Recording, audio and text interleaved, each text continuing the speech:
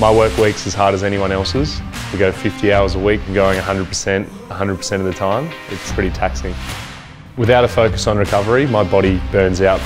I've learned a lot about sleep over the last few years. I know that I need 7.2 hours of sleep each night to be able to perform at my absolute pinnacle.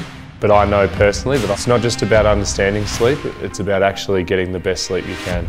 Because tomorrow my week starts again.